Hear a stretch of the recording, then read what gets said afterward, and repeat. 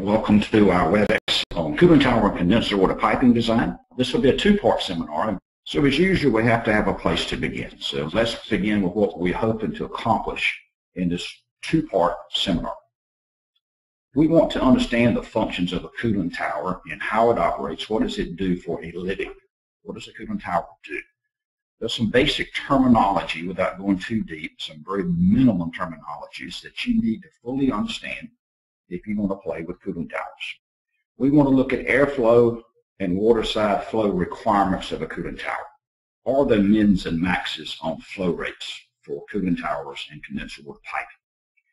We want to look a little bit, how would you do the chiller plant piping? How would you pipe to the condensers and multiple cooling towers and multiple chillers back to them? What's a proper way to do that?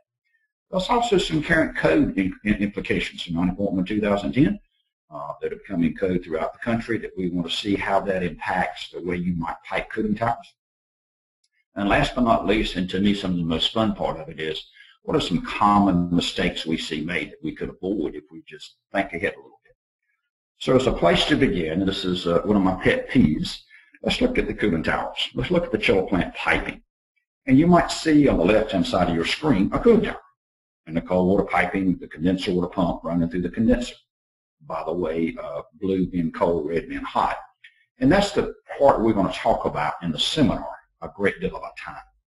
On the far right-hand side of your screen, you'll see the load, whether that's a, a chilled water cooling coil or whatever it may be. That's your 45, 55 degree side. That's where you're keeping the owner or the customer in the building happy. Between those two extremes, in the middle, is actually a, a refrigerant cycle. I want to start with the refrigerant cycle because nobody ever really talks about it anymore. And this is the part where you have a compressor, an expansion device, a condenser, an evaporator that you've got a refrigerant cycle going on inside of. We want to talk about that just a little bit so you understand what impacts the KW on that thing. Where is the operating cost being influenced on a chiller? So between the condenser water side and the chill water side is the chiller. Could be a centrifugal water-cooled chiller, could be a reciprocating chiller, could be a screw machine. We don't care. But let's look at that basic refrigerant cycle as a place to start. Now I like defining a refrigerant very simple. If you know the pressure of a refrigerant, you know the temperature. If you know the temperature of a refrigerant, you know the pressure. That's what it makes it kind of unique. You see all these service guys running around with uh, little tubes and, little, uh, and little gauges and sensors all they're trying to do is they'll hook onto the compressor cycle. If they can get a pressure anywhere, they know the temperature. And, and that's what they're after, to know how well they're working. So let's start with the compressor motor at the bottom of your middle of your slide. So that little blue would be low pressure vapor, low pressure refrigerant vapor gas. And I'm going to, so what I've got on the blue side, on the cold water side of that compressor is this. I have a low temperature, low pressure gas. I'm going to take my compressor and pump it up. I'm going to pump it up to a high pressure, high temperature gas. See how the pressures and the temperatures influence this? So the low side is a low temperature gas, high side is a high temperature gas, and the pressure difference is the key. So the amount of work being done by your centrifugal machine or your reciprocating machine is how much lift do you have. It's Just like a pump. How much is the head? What is the lift between the low side and the high side? How much work are you doing there? And that's controlled by the condensing temperature and the evaporating temperature. So coming out of the compressor, we now have a high pressure, high temperature gas going to the condenser. I wonder what a condenser does. Condenser condenses it. It takes the BTUs out of that high pressure, high temperature gas and makes it to a high pressure, high temperature liquid. And those BTUs, 85 degree condenser water, 95 going out, the condenser condenses the liquid transfers the BTUs over to the cooling tower, and the cooling tower rejects the BTUs out in the atmosphere. That's what the cooling tower does. Now I have a high pressure, high temperature liquid, and I go to the expansion device at the top of the slide. And what's an expansion device? It's an orifice, it's an expansion tube, thermostatic valve, some way to reduce the pressure. And what happens when I reduce the pressure? I reduce the temperature. So I'm taking a high pressure, high temperature liquid, I'm going to reduce it to a low pressure, low temperature liquid, Wow, now I got my cold liquid refrigerant and I take it to the evaporator. And what does the evaporator do? It takes warm return water, 55 degrees, sucks the BTUs out, takes that low pressure, low temperature liquid refrigerant and makes it into what? A low pressure, low temperature gas. And coming out of the evaporator, we got nice 45 degree cold water. Going on to the compressor now, we have a low temperature, low pressure gas, and we start the cycle all over again. What I want you to learn, uh, nobody really talks about that basic cycle. That's the same cycle you have on a water source heat pump. It's the same cycle you have on a air-cooled heat pump at home. It's the same cycle you have on your refrigerator at home. It's the same cycle that's in your car. And everybody involved in this business needs to understand that. And from a cooling tower standpoint, what have you learned?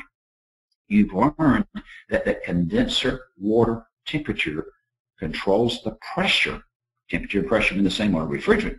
And that's the amount of work the compressor's got to do. So wait a minute, maybe by reducing the condenser water temperature a little bit, I might have less kW going to my centrifugal chiller? Absolutely. Those are the things I want you to learn and keep it back in your mind as we go through this because we've got to look at the energy and you need to understand the basic refrigeration story so you can understand what follows. Now, if we go through this, why have a cooling tower to begin with? And it goes back to refrigerant temperature. It goes back to the work. Very simple. A cooling tower takes latent heat. And, another little simple statement I like to make is if you take a, a pound of water and make it to a pound of steam, it takes a thousand BTUs. You take a pound of condensate at zero and you condense it to uh, uh excuse me, a pound of steam, you condense it to a pound of condensate, it's a thousand BTUs. Steam tables might be 980, 960. Let's just use a thousand today. So a thousand BTUs will take a pound of water to boil it off. In other words, if I could take some BTUs into my cooling tower, for every pound of water I could evaporate to water vapor in my tower, I can soak up a thousand BTUs. See, a cooling tower is a latent machine. It's not worried so much about the sensible temperature in the atmosphere. It's worried about that wet bulb. It's worried about how much moisture can I put in the air because it's going to evaporate the water at the rate of 1,000 BTUs per pound to soak up the energy in the cooling tower. So that's the key thing to learn. So what does it do for a living? It cools water by evaporation. That's a couple of kids, and as kids growing up on the farm down east, when we got hot in the summertime, we did not have air conditioning. But we learned pretty quick, if we put on a bathing suit and went outside and got wet, the adaptive cooler would keep us comfortable. If we still could not get cool enough on a 100 degree day, we did have fans, so we'd wet ourselves down, turn on the fan, and guess what you have? You have the adaptive cooler, 1,000 BTUs per pound. Your body is now the fill of a cooling tower you got, got it wet, and that's how tower works. So if you ever doubt how tower works, just go back to your youth, been outside in a sprinkler, running around, getting wet on a hot day, and you know how tower works. In fact, on a 100 degree day, getting you wet, turning a fan on you, and controlling the amount of air going by your body, I could make you shiver. I could get you so cold you couldn't stand it on a 100 degree day. What is CTI? A couple little things you've got to learn. Cooling Technology Institute. That's a standard. The standard, by the way, is now in ASHRAE 90.1 2010 and required by building code. All cooling tower manufacturers belong to this. It is just a way of stating what a ton is, what are the conditions, how do we compare one tower to the other. So if you're going to specify anything, you've got to make sure you always have this in your specifications. It is not brand specific. All brands belong to it. It's kind of like ARI or UL. It's just a standard you got to go by. And looking at that standard, they define a cooling tower ton. And the cooling tower ton is defined by CTI is different than a refrigeration ton. The refrigeration ton is 12,000 BTUs per hour. And by the way, that comes from melting uh, a ton of ice, or 2,000 pounds of ice, in 24 hours using the heat of fusion, which is 144 BTUs per pound divided by 24 hours. You can go check me out. It's not the weight of the machine. I like to tease people about that because young kids coming out of school sometimes think a thousand tons. chiller weighs a thousand tons. That's not the issue. I'm not trying to insult you. I'm just trying to have a little fun with this. But it is 12,000 BTUs per hour on the chilled water side. And on the condenser side, on the cooling tower side, it's 15,000 BTUs per hour as defined by CTI. Wow. Why would it be a different number? Do you remember that heat of vaporization? Do you remember the kW we were putting into that chiller, in the compressor, to raise, to raise that low pressure, low temperature gas to a high pressure, high temperature gas? That's work. That's kW that you're putting into the centrifugal or reciprocating motor. And that kW winds up in the cooling tower load. And nominally that would be 3,000 BTUs per ton, as defined by CTI.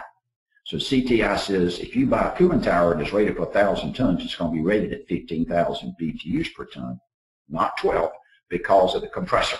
You've got to take that kW that you put in the compressor, those BTUs wind up where? Out in the cooling tower. And you have to get rid of them. They got to go back. You got to take care. So from now on, cooling tower is 15,000. And that's the standard CTI definition. And every cooling tower vendor will use that same number when they tell you certified. So we got to talk a little bit about more about conditions and standard conditions for CTI. If you look at a standard condition, everybody thinks this is a standard condition, and CTI defines it as the standard condition.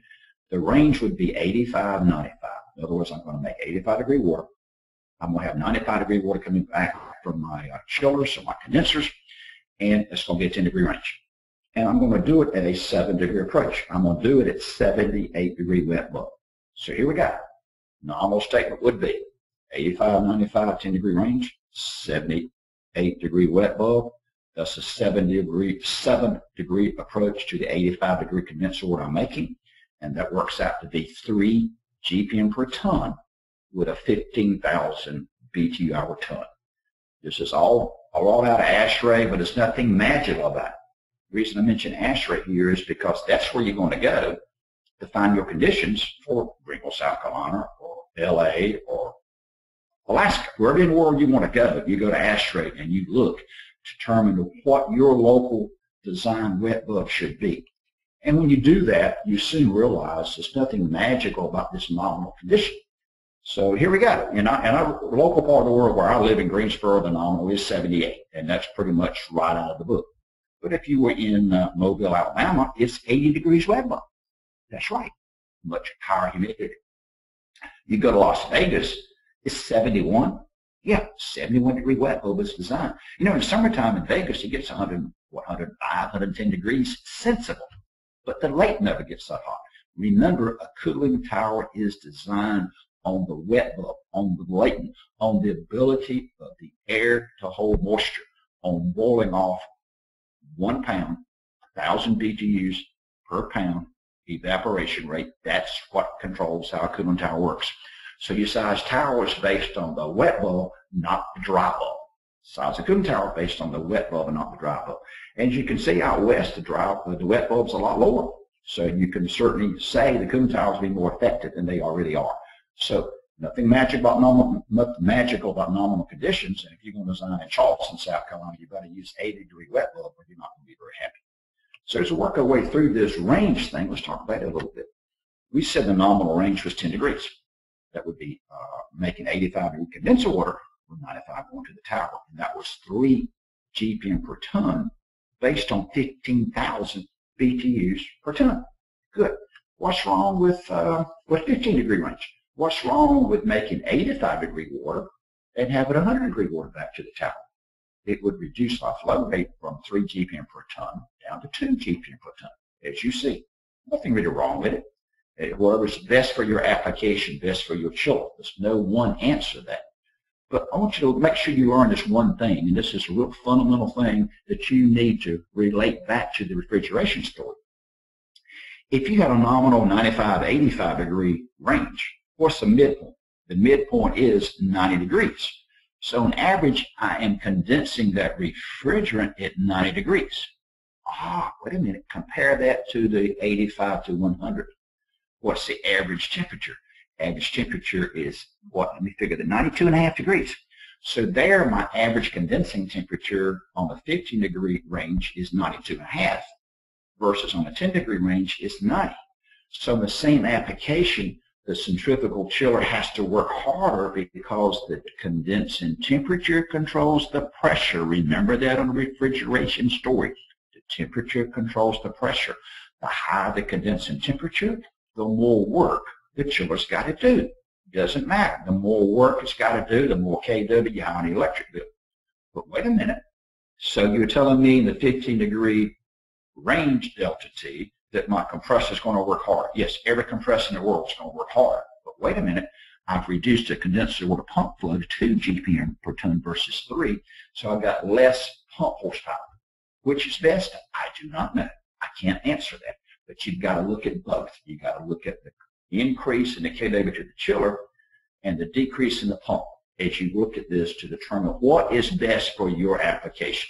Be happy to help you with it if you want to get there, but it's important you understand those two relationships if you're going to play with towers and chillers and pumps.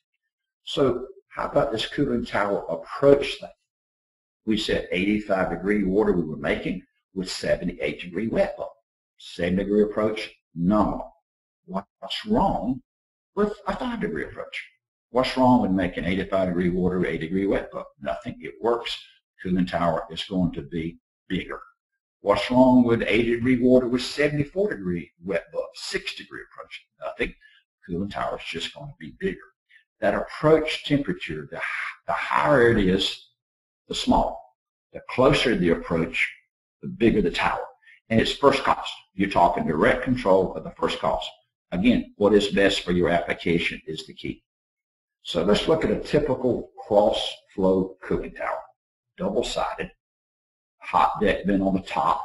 I got water going in the hot deck, little tiny holes, and the water just flows by natural gravity all over the fill, keep that keep that fill nice and wet.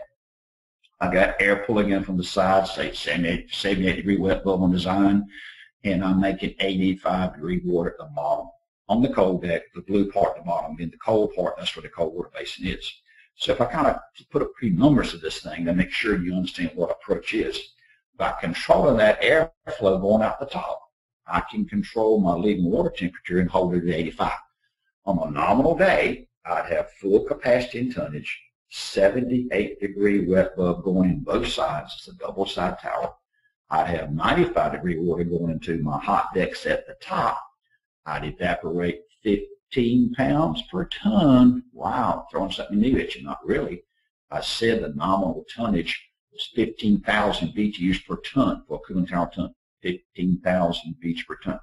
So if we get 1,000 BTUs per pound of water, then I have to evaporate 15 pounds of water for every ton in my cooling tower. Simple little thing that you ought to hang on to. It's not exactly 15, but it's so close you can use it and go on. So you're saying to me, Chris, for every ton of load on my cooling tower, I'm going to evaporate 15 pounds of water. Absolutely. Let's keep it simple. That's exactly what you're going to do. You're going to have rocks left behind, by the way, which we'll talk about later on. But you're going to have to do that. So now I'm making 85 degree mortar, and what's my approach? My approach becomes 7 degrees. And that's what I want to make sure you understand. That's about all the terms I really want you to understand, but you need to kind of make sure you're comfortable with these approaches and the range and the flow rates because you start that evaluating cooling towers, it's critical you do that. Just keep going with a typical design project, to have something to play with. We're going to use this through the, the whole session and keep, keep coming back to it a little bit. But what I want you to realize is you normally have multiple chillers, multiple pumps, multiple towers. So the question is, how do we pipe? What's the proper way to pipe? In this case, I've got three 500-ton towers I've got two 500-ton chillers, and just to keep it interesting, I have one 300-ton chiller that we've picked for the wintertime operations, kind of a correlate on the building, so we can just get by on the chiller. To keep it simple, I'm going to use a 10-degree range, which means my pumps would be 1,500 GPM, 3 GPM per ton on my 500-ton chillers, and of course 3 GPM per ton on the 300-ton chiller. That's going to be the basic little example we work with the rest of the time we have together. So kind of keep this in back of your mind. We're going to come back to it shortly. I just wanted to find what it is. Three towers, three chillers, unequal size. And you might see that one common supply pipe, red being hot, 95 degree water out to the towers, has to be sized in the summertime on what? Full flow, 3,900 GPM. The little blue, blue line coming back with the 85 degree water has to be sized on 3,900 GPM. But wait a minute, you said, Chris, I'm going to run this project hospital, whatever it is, in the wintertime with a 300 ton chiller only online, which means my flow rate now is only 900 GPM in the wintertime. So the big question you need to answer, the critical one you need to understand is, when I run that single smaller 900 GPM chiller, how do I size my pipe? What happens to the friction loss in that big piece of pipe? I just sized it for 3900. What happens to my pump head? How many towers do I run? Do I run all three towers on that one little, uh, one, one little chiller? Or do I go back to one? Those are the questions that are getting people in trouble because they're not asking. We're going to ask those questions as we go forward. And I want you to begin to think about Great to design at July. Everybody got that figured out. What are you going to do in December? How are you going to operate it at reduced load? And that's where we need to get. So we're going to move on a little bit first, and we'll come back to this in a few minutes. So that's my design basic project I'm going to use, and we're going to talk about it, and so you kind of understand where we are. So let's look a little bit at location of towers first. And, and, and this becomes interesting because it's something, again, people don't think about enough and they don't relate to enough. Here's my cross flow tower again. I got hot water in the hot water basins at the top, say 95 degrees. I got cold water coming out, let's say at 85 degrees. And again, remember, I'm assuming I've got 78 degree air coming in the side.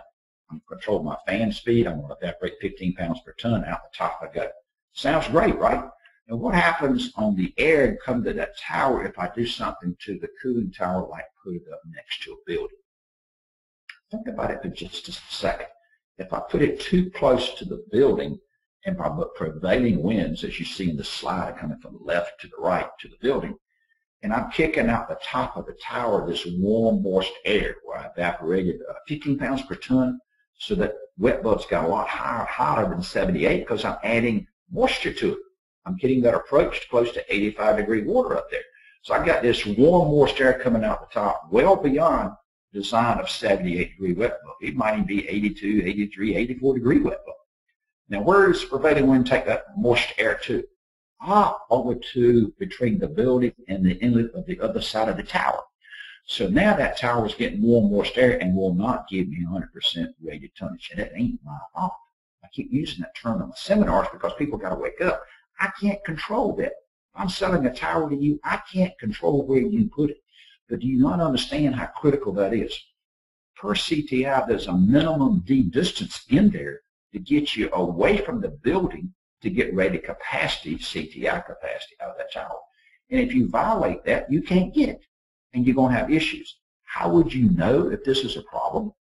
Well, if you talk to a maintenance man, man or an owner or operating person, and they're complaining about I can't get 85 degree water. I can only get 86 or 87. My condensed water supply temperatures are too high. Well, is it because you put the tower next to the building and it can't, cannot evaporate the 15 pounds per ton? Let's go back to simple things. If it can't evaporate the water, water temperature's going to go up. Secondly, you have higher head pressures. Remember that connection I was trying to teach you higher temp condensing temperatures because if you put it next to the building lead to what? Higher, higher pressures on the refrigerant side. Wait a minute, that means that my compressor's got to work harder too, and that means your operating costs go up and you can't get the same amount of tonnage. So the last statement all makes sense, I hope, to you. If your condensing temperature is higher because you put the tower next to the building, then you got more work to do to get, you, get your refrigerant pressure that high. It all goes hand in hand. Here we go with a typical example. This happens to be a hotel in Wilmington, North Carolina. And we got a complaint.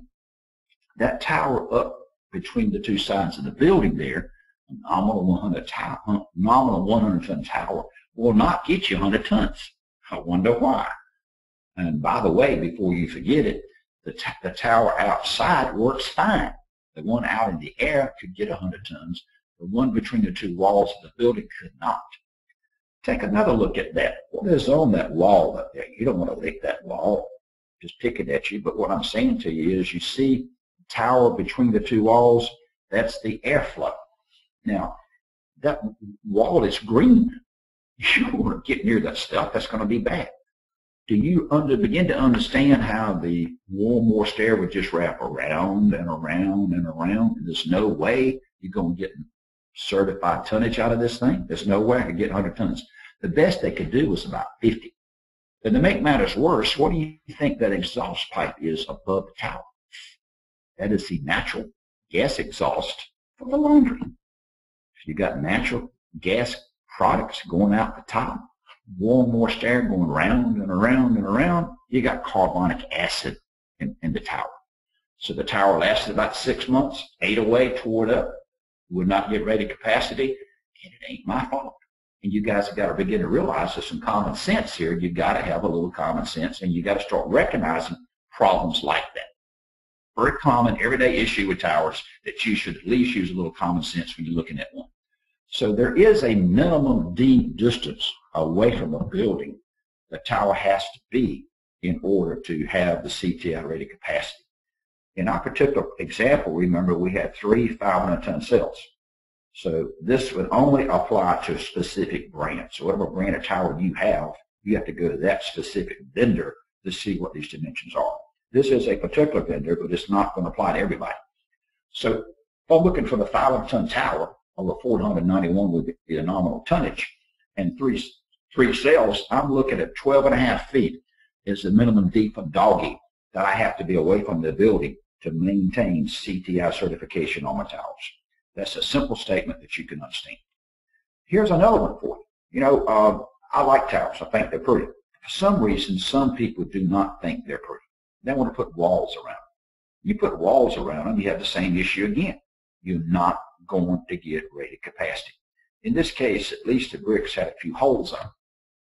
You're going to design something like this, go to your vendor, find out what the reasons are, find your tonnage, and they can help you put these, figure these walls out if you want to do it.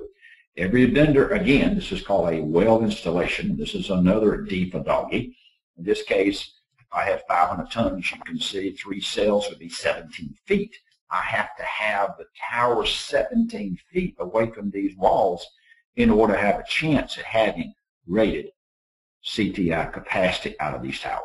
Simple statements, but I think you begin to understand how critical it is to maintain good airflow on anybody's cooling tower to stay out of trouble.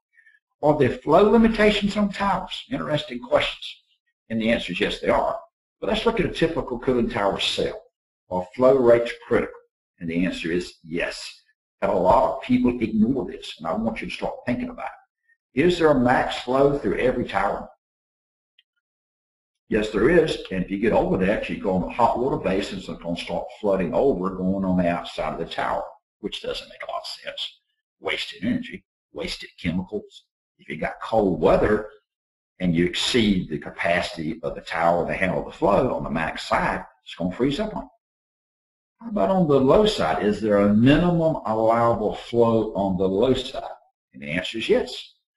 Uh, before recently, most towers, unless you specified it differently, would have turned down 20, 25%. In other words, 500 ton tower, design flows 1500 GPM, if you had 20% turn down, that would mean that tower's minimum allowable flow would have been 1200. If you had 50% turn down, that means the minimum allowable flow on that nominal 1500 GPM tower would be 750 GPM. Now, what we're trying to tell you, get below that, the towers don't work correctly. You start having issues. What kind of issues would you have? Lower capacity, can't get the tonnage, you can't evaporate 15 pounds per ton. Fans run on high speed. Wow. Are you telling me if I don't put enough water to the fill of a cooling tower, my fans are going to speed up and run high speed? Yes, because you cannot maintain leaving condenser water temperatures. You can't do it. Operating costs are going to go up if your fans are running high speed. You're going to have more scale, more rock, more maintenance, all bad things. This can easily be handled in your guide specifications if you go ahead and specify that all towers be uh, be mandatory turn down to 50%. Something called a weir dam, which I'll show you a picture in a minute, helps you do that on a cross flow. But also ASHRAE 90.1 2010 Energy Code now dictates all cooling towers have to be 50% turn down to meet ASHRAE code. So that's coming your way. So now you're dealing primarily with the older towers that probably don't have that turn down. So if we pull all this together in the flow limitations, here on the left-hand side shows overflow. That overflow, as you see, the hot decks are just, the water's just going right off the hot decks down the side. What a waste. You get extra pumping costs, chemical costs. And if you've got cold weather on that tower, it's going to freeze. Right-hand side. That's the rear deck. That's in the hot deck itself. We just put a little piece of metal across the top of the hot deck and we dam it up to make sure the face of the tower always has some water on it.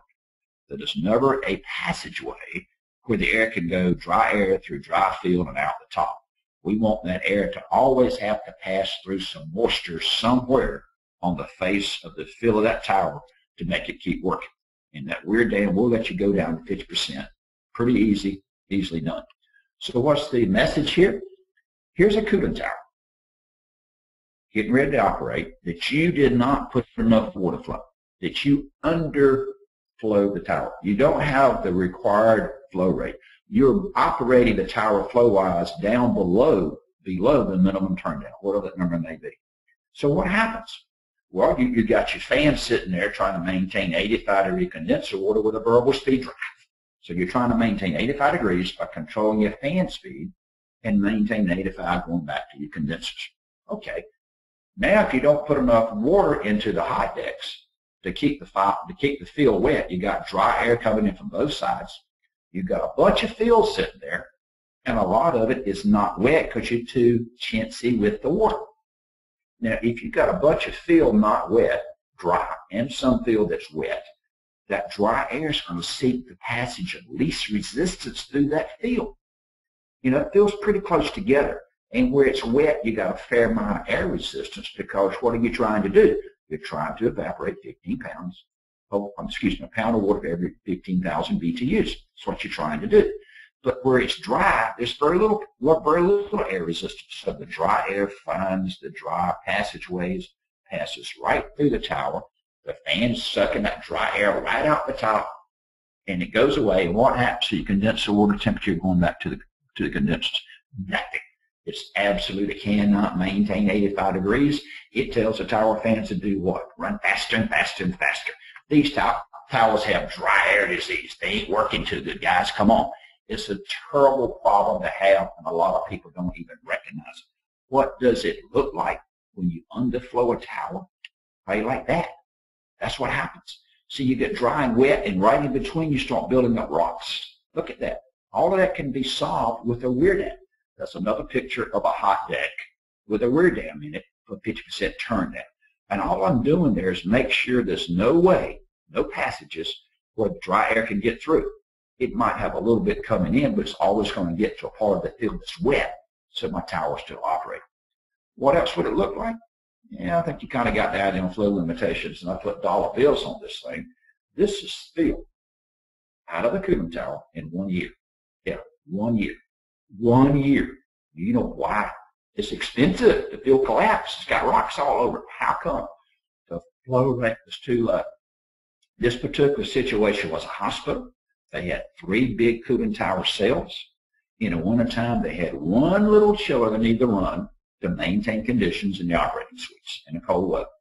Yes, guess how many cooling towers they ran in the wintertime with that one little small chiller. They ran all three of them. They ran all three of them. They had dry disease going. They just, just were putting rocks all over their towers. That ain't my fault. There is a minimum allowable flow on those towers, and you better pay attention to it, or you're going to be having big bills like this. The next thing they did was they blamed the chemical treatment guy. It ain't their fault. The chemical treatment guy's just going to make it worse. That's all the rocks are going to come out. You add more rocks in there, it's going to dry out again. All because you didn't have enough minimum flow. I mentioned this ASHRAE 90.1 2010 thing about the 50% turn down it was an addendum that came out. And as the addendum came out, it got passed. So this shows the addendum, but this has been passed. It's been approved, and it's actually in 90.1 2013. It is also part of 90.1 2010 because it got accepted as a part of, the, part of that code. And you might note in red it says 50% flow turn down ratio is the minimum. So if you specify that your towers be ASHRAE 90.1 2010 compliant, then you're going to get 50% turn down. And I would suggest you go ahead and do that. It's a simple little thing, but you ought to have guy specification should have it in there. How about condenser water itself? How, how about looking at the condensers themselves? Is, is that an issue flow-wise? And the answer is yes. There's a minimum max flow there. If you overflow the condensers, you're going to erode the tubes. Most centrifugal or reciprocating condensers have a max velocity of eight, eight and a half, nine feet per second, somewhere in that ballpark. And if you get it up much beyond those numbers, you do keep them clean, but you start eroding the tubes and they get real thin and you can really have a mess. Furthermore, why would you waste all that pumping energy? Why would you put all that KW and overflow something that doesn't want it to begin with? That doesn't make a lot of sense.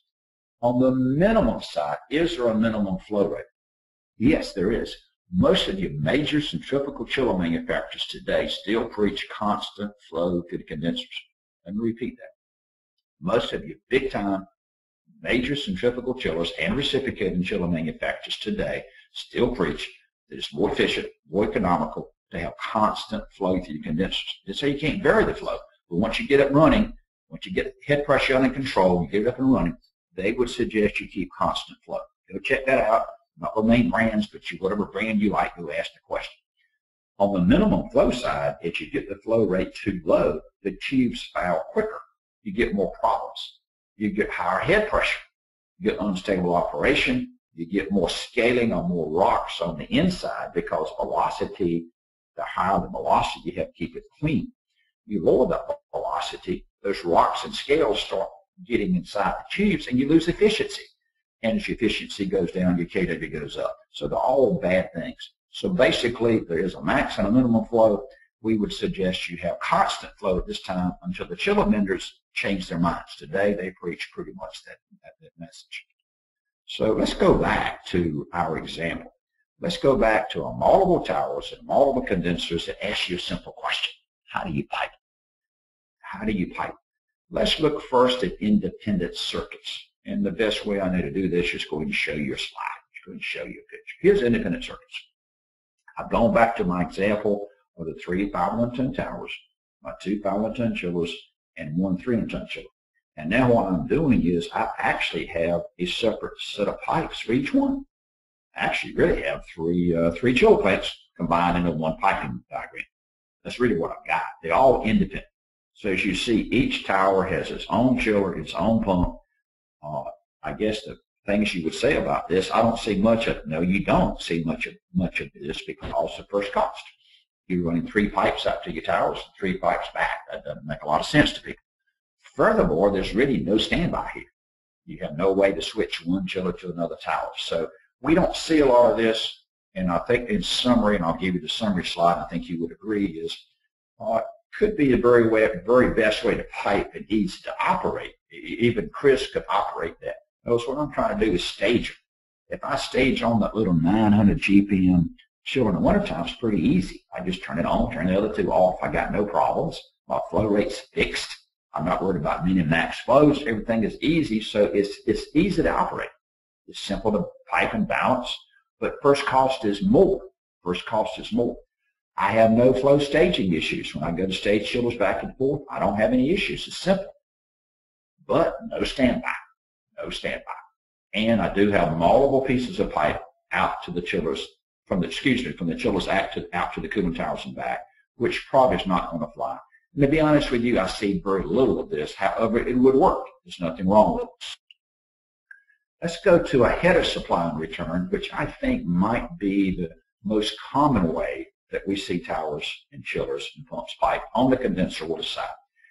Again, back to my three 500 ton towers, and I've got my three chillers. I've got a 1500, a 1500, and a 900 GPM. So now I've got one set of pipe, that red pipe, one common pipe to all three cells going out with my uh, 95 degree water. And I've got one common pipe coming back with my 85 degree water. This is what I think you see all the time. You See the two-way valve at the top of the tower, the two-way valve at the bottom of the tower? You need them both. And those are two-way on-off valves on the hot side and the cold side. So when that tower cell is not running, I would want those two-way valves closed. When the tower cell is running, I want those two-way on-off valves open. And they work together. The one on the top and the one on the bottom of each cell cycles together. Same signal, same thing.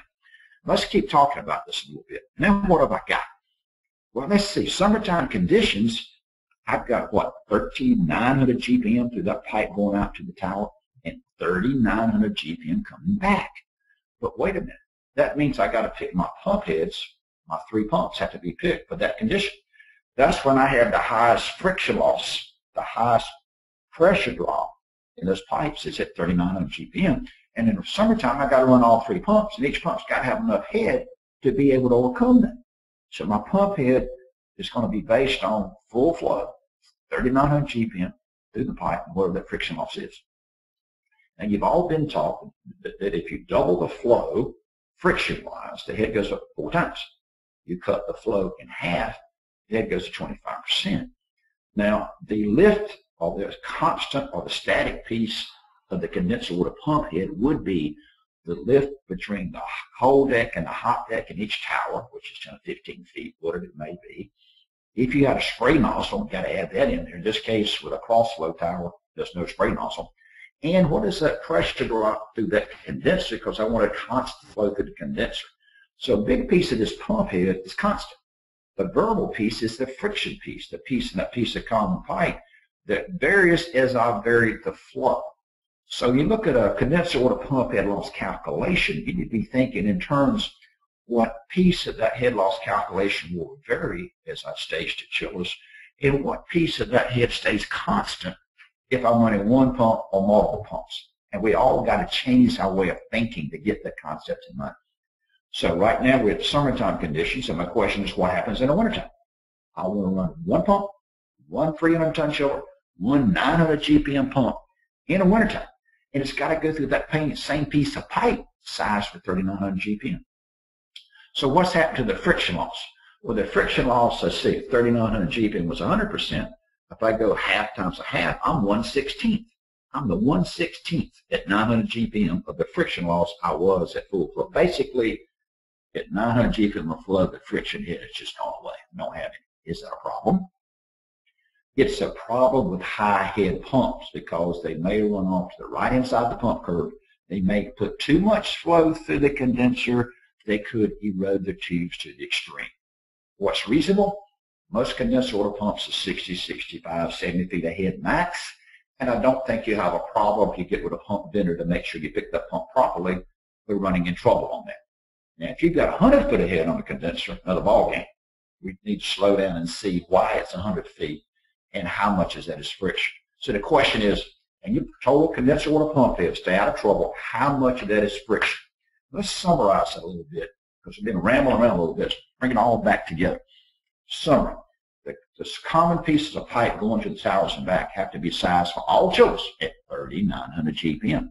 So the question is, how will they operate at 900 GPM? It's the question we're trying to ask. So the next statement is, what is the, the, the pump is required to plug 900, 3900 GPM. So you got to pick your pumps as if you got full flow through the pieces of pipe at high friction loss. What will the operating problems could be when you run one pump. You may go off to the right side of the pump curve with one pump running with the head picked for the summertime condition. Only got one pump running in the summer, in the wintertime, and that friction is basically gone away. You might need a flow limiter on the chiller to protect it. You might have to add a flow limiter. Uh, another little comment, you're going to learn about ASHRAE 94 water side economizers. You might also have to add another set of pipes out there. In other words, with one pipe to the towers and one pipe back, you can only get one cold water supply temperature at a time. It can be 85, it can be 65, it can be whatever you want it to be, but it can only be one temperature with one set of pipes. So you've got head pressure considerations for your chillers, they may want water at 70 to 75 degrees, maybe as cold as they want it. But if you're trying to run a water side economizer, remember you want as cold water as you can make. So how do you handle those two extremes with one set of pipes? Last but not least, as a dedicated pump per chiller, and I like that because when I turn the pump off, the flow stops. And I'll show you that again in a few minutes. I have a dedicated pump per condenser, and I want to make sure you kind of follow that logic. So here we go. You might note there's a pump per condenser. So if I turn that bottom pump off on my 900 GPM condenser, the flow's gone away. So it, it, I cycle my chillers and my condenser water pumps together. Just turn them on and off together. When I turn the pump on, the chiller has to flow through it. I turn the pump off, the chiller does not have flow through it. Very simple, but there's a good reason for that as you'll see in a few minutes. Now we talked about the fact that if we had high friction loss in a common supply return pipe, we might have to add flow limiters.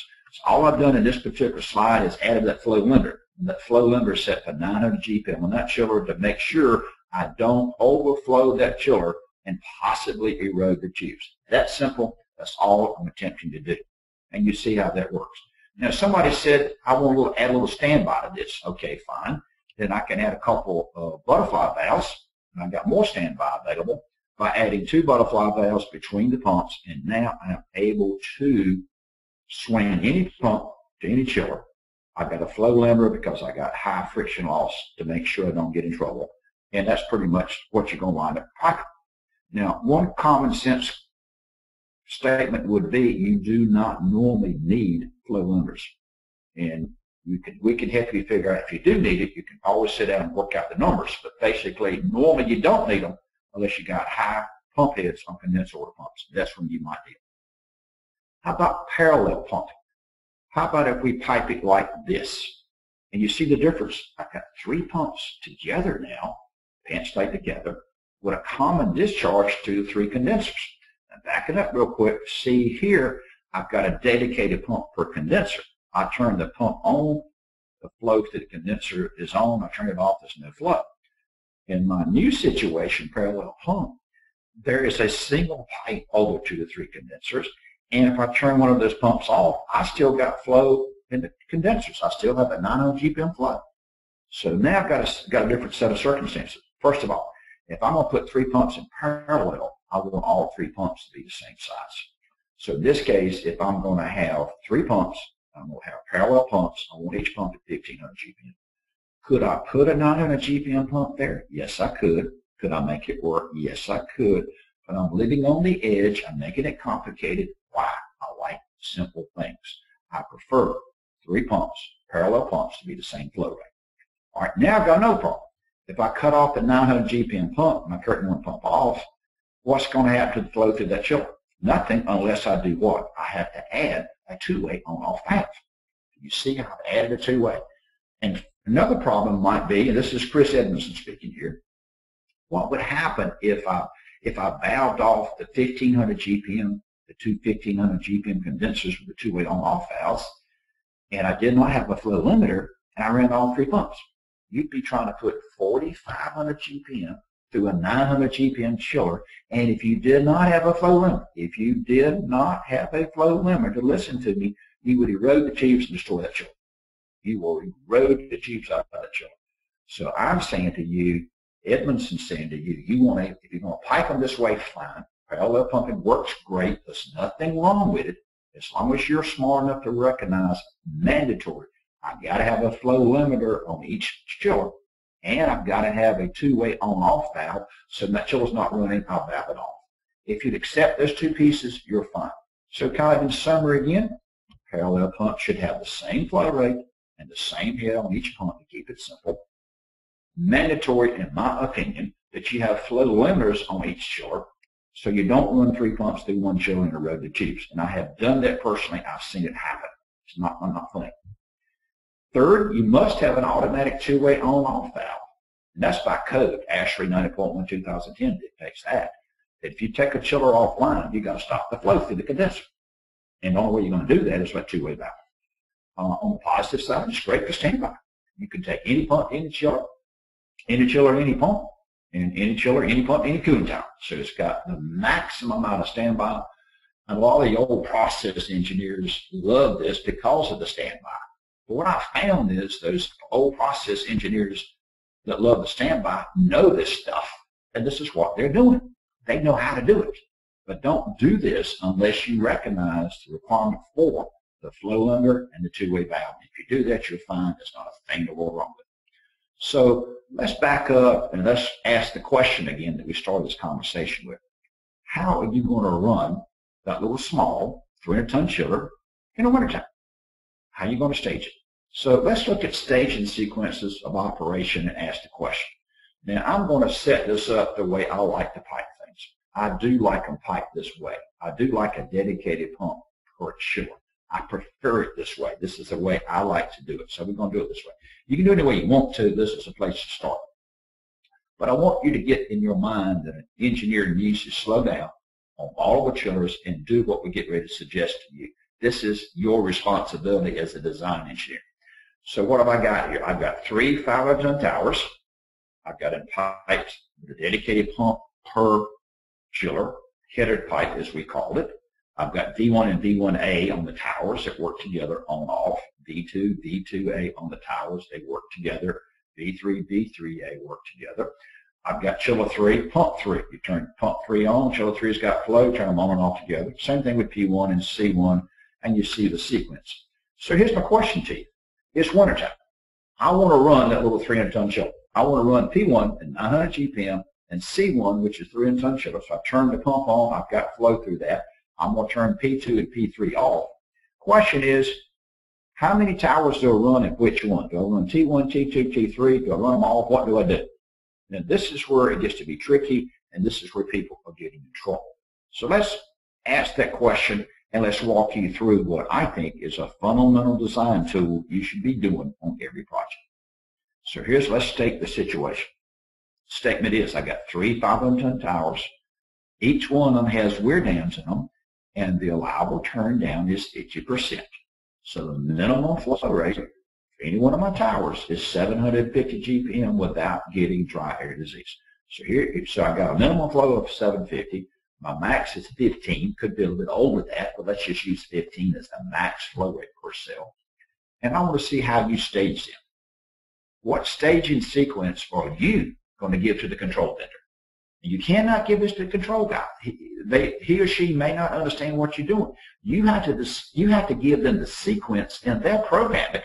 But you got to tell them what sequence you want, and what other staging sequence is not shown would be allowed. And the reason I ask that question, if you if you can give me some I'm going to show to you, you are understanding what we're trying to do.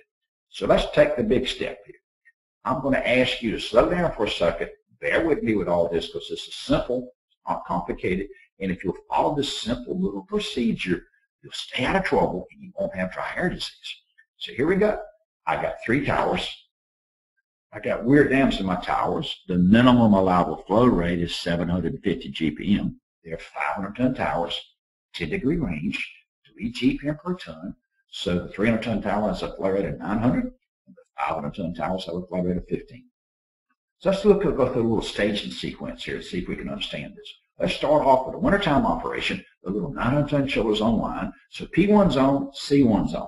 P2, chiller 2, chiller 2 is off. Same thing for 3, it's off. So what is the flow rate going out to my towers? 900 GPM.